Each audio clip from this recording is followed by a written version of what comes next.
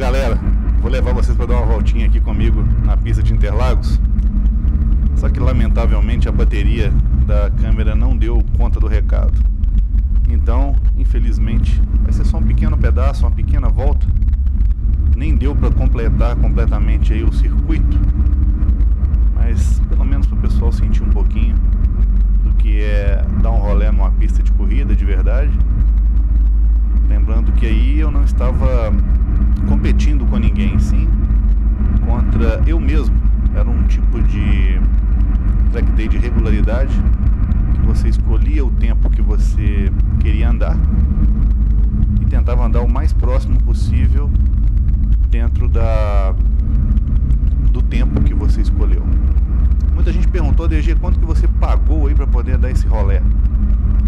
Bom, eu não paguei nada, eu fui convidado pelo por um jornalista gente boa lá do Entusiastas, o Bob Sharp. Me convidou, conseguiu para mim credencial de imprensa.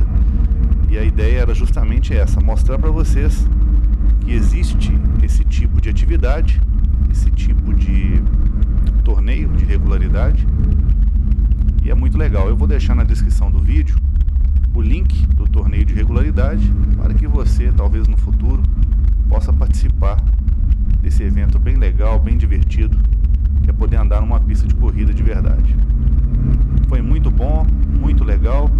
Eu não abusei do carro, afinal de contas esse carro é o meu carro de passeio, é o meu carro particular.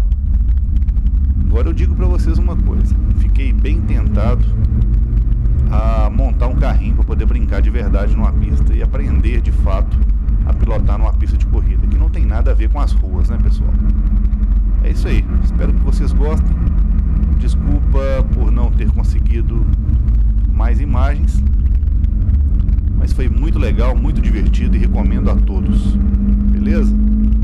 É isso aí.